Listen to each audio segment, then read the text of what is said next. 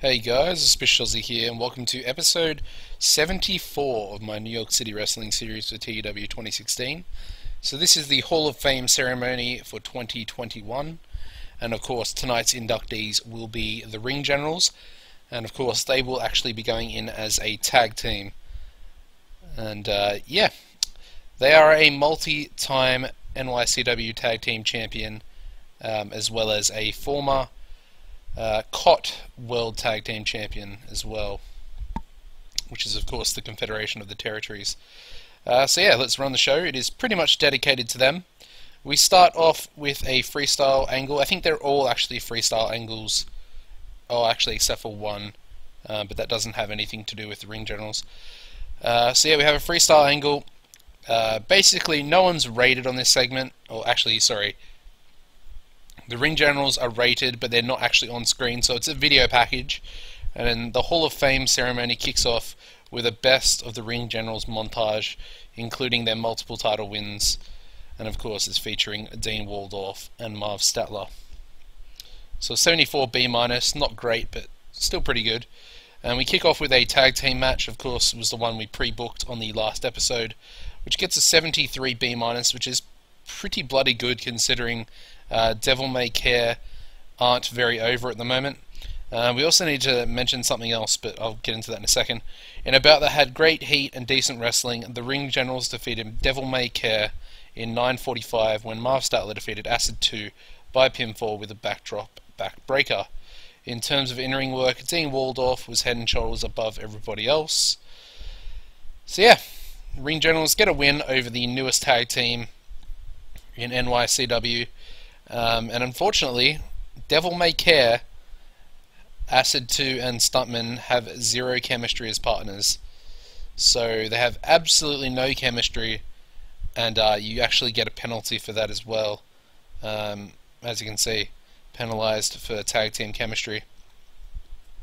So that sucks. Um, kind of puts a big spanner in the works because it's obviously going to affect basically every single match they have uh, when they're together. So that really sucks. I don't understand why they would be a tag team if they have bad chem zero chemistry. It's not even bad chemistry; it's zero chemistry together. So that sucks. But again, I mean, there's nothing I can really do about that. I might have to split them up, um, or just use them as solo guys. I, I don't know. I have no idea what we're going to do with that. Um, there is one possibility, and that's for me to bring in the original acid.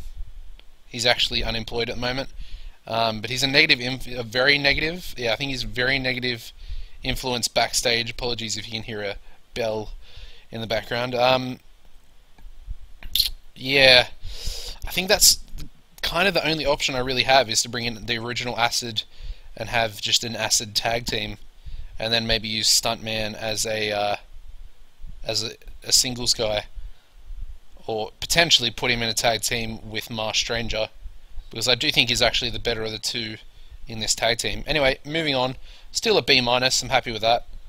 Uh, we then go into an 85 B plus angle.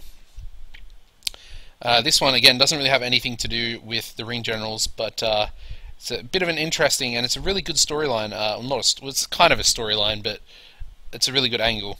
Anyway, Tennessee William says he's going to send Bret Hart Break back to Europe where his daddy pays people to like him. And of course, this all plays in with uh, the whole backstage mentality that the Midnight Prowler started, and uh, Bear Bukowski has continued um, with their hatred of Bret Hart Break.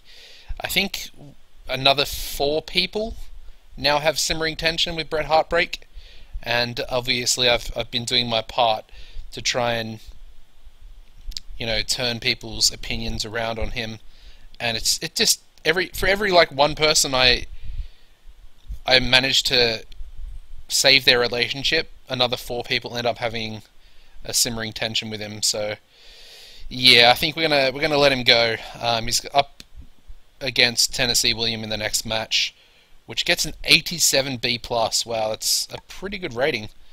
In an exceptional match, Tennessee William defeated Bret Hart Break in 19 minutes 42 seconds by pinfall with the Devil's Crossroad. Tennessee William was really off his game, and apparently these two have great chemistry. So that sucks. Uh, but yeah, very, very good match. 87 B plus, good stuff. Okay, so we then go into another angle, and this is Graham Gorman. Um, he's actually in a match up against Marv Statler up next. Angle only gets a 66 C plus. Not too bad for Graham. Um, Graham says he's going to win tonight again. A, a win tonight against Statler would be the biggest coup of his career, or the biggest coup. It's not coup, it's coup. Uh, the biggest coup of his career so far, which you know it would be. It's a very big night. Of course, the Hall of Fame um, is based around Marv and Dean, so yeah, a win would be very big.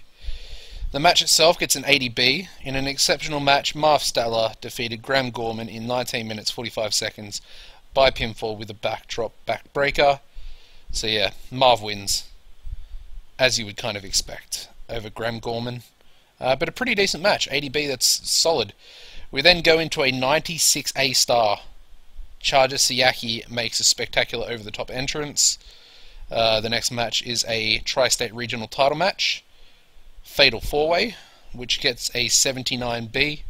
In an exceptional match, Charger Siaki defeated Emmanuel Bryant, Logan Wolfsbane, and uh, Xavi Ferreira in 20 minutes 20 seconds when Charger Siaki defeated Xavi Ferreira by pinfall after using a foreign object.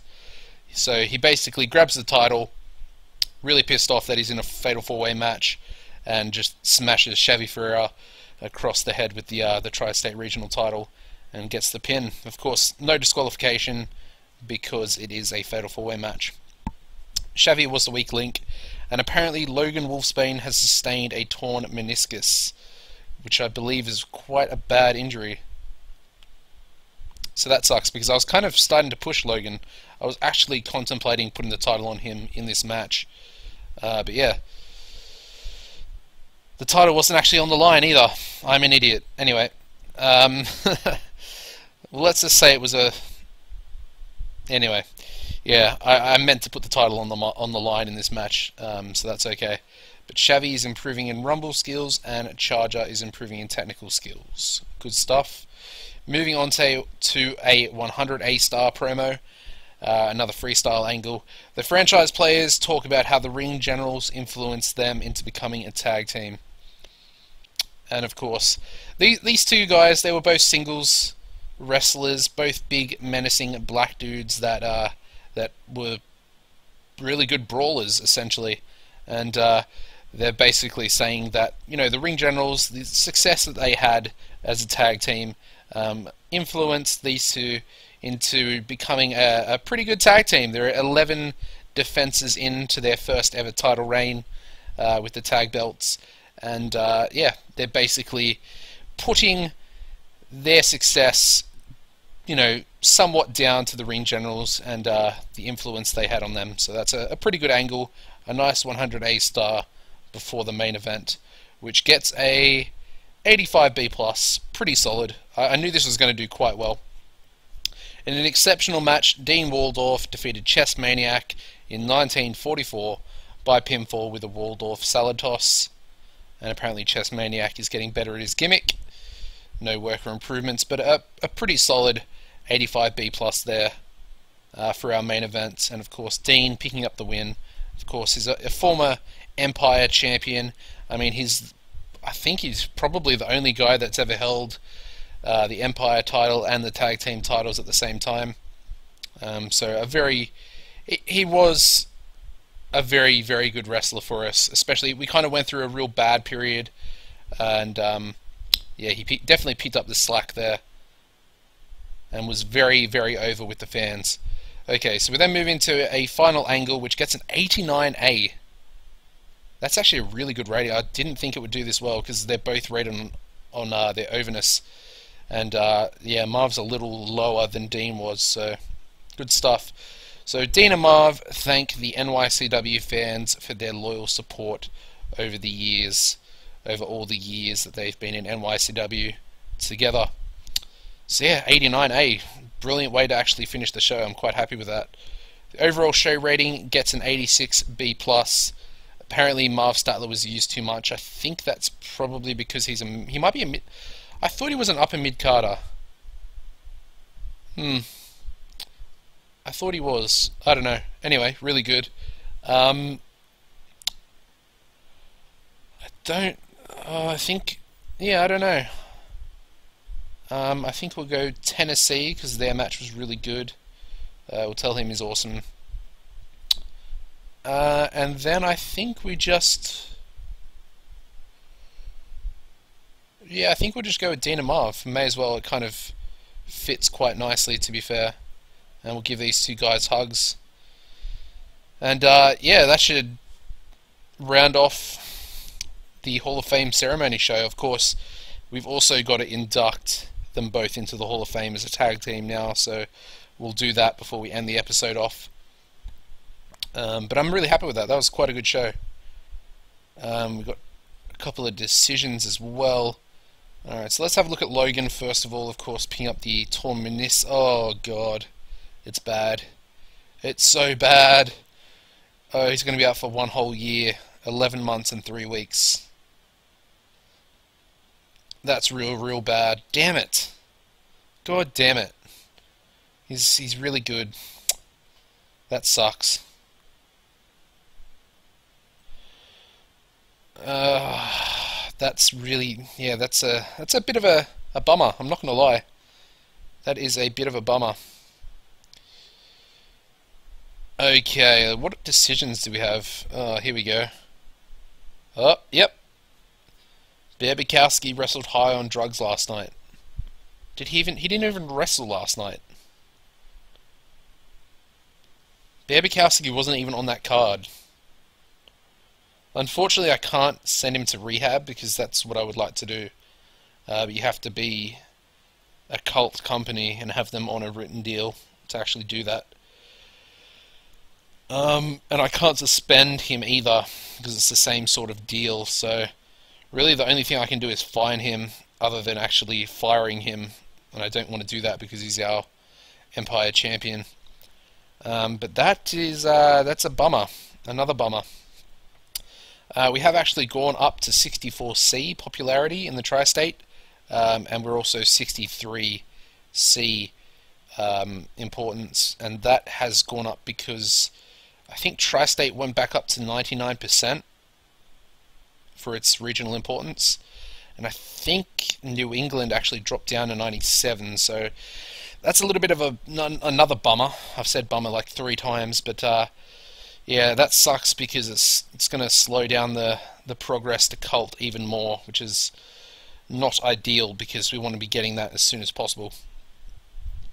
Uh, so yeah, apparently we're the 15th best company in the world at the moment, which is good to see. Um, the bank balance is very healthy at the moment. Um, I'm actually contemplating building my own arena.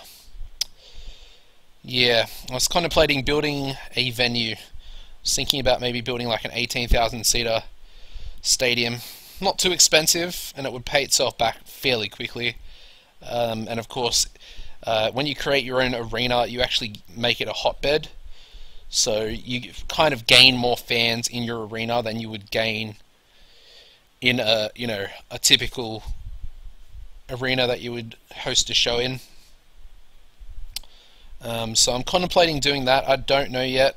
Um, it's still a, it's only at a, a, very early stage, and if I do do it, I will probably do it um, on an episode. And uh, of course, we can't actually build a developmental territory yet because you have to be cult to do that.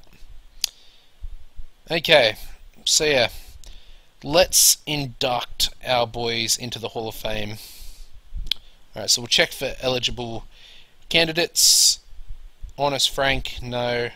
Roger Cage, no. Dean Waldorf, well, we're not going to do Dean, but uh, the ring generals we will actually do. So they've had six tag team title, or six different tag team titles, and they've headlined eight shows. So that's a, that's a pretty good career, six tag team titles. And uh, yeah, we won't do any more of those guys. But there we go, guys.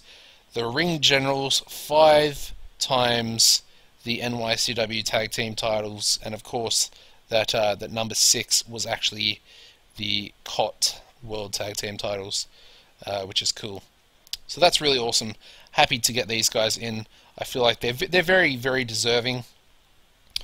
When you look at some of the other tag teams, like we've got Wiley Coyote here, who are probably the, well they're the only other tag team. Oh, apart from Old School Principles, uh, but they only reached four tag team titles, and uh, Old School Principles only reached four tag team titles as well.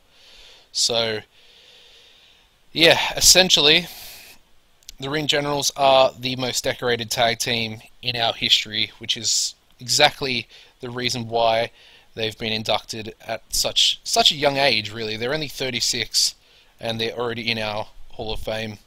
Um, I'm big fans of them, as you can tell. I mean, I put the title, the the main event title, on Dean, and uh, let them win the COT tag team titles as well. Uh, let's have a quick look at that, actually. Have a look at the Alliance titles. Of course, we haven't really checked these too much. Demeltzer Wade is still the uh, COT Women's Tag Team, uh, the COT Women's Champion. Uh, yeah, champion. I don't know why I said tag team there for a second. Just constantly thinking about the ring generals. Uh, but she's got 16 defenses, which is crazy. Uh, we've then got the World Heavyweight Championship, which is currently held by Fumihiro Ota. And he's only got the one defense, and he took the title off Too Hot, who had seven, and of course Ernest Youngman was behind him with uh, with 14 there, 17 for Lopez, and the wow, the COT World Tag Team Champions is uh, Shaw and Matt Sparrow, and the prestige is actually higher than the world heavyweight, which is odd. Uh, you don't really see that because it's a, a, floating title as opposed to a main event title. But yeah, it's at 95 A star, which is really high. Um, and yeah, if you look back through it, I mean, it was quite kind of a long time ago, but uh, Marvel Malloy and Storm Spillane, of course, uh, we had the American Cobras once upon a time, and Marv Statler and Dean Waldorf actually beat them for the World Tag Team titles and uh, made 11 defenses, which is the highest ever defenses so far, which is really cool to see. And uh, yeah, they then lost the titles to Nathaniel Casino and Eric Blackley, um, but they had a pretty good run as well, so that's pretty good to see.